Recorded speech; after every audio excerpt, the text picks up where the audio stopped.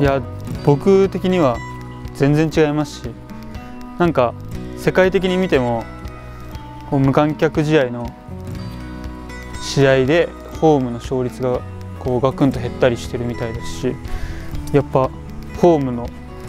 サポーターの声の重要さっていうのは全然違うと思います。ゲームをこううまく展開する力だったりそういう最後のパスとかなんだろう長短のパスっていうのはあの負けないように今も努力してますしミドルシュートはあので得点を取れたら相手にとってすごく嫌な選手だと思いますしそこはあの自信を持っているので、まあ、今年チャンスがあれば、まあ、得点を狙っていきたいなと思います。技ないっすよ、うん、ダメダメ。普通にやります。攻守両方でこう頼りになるボランチになりたいですし、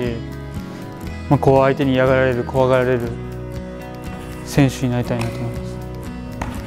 す。そんなルーティンもないんでどこでもいいんですけどいつもどこだろう。この辺この2つのどっちか。なんていうの今までの選手すごい選手がつけてきた中で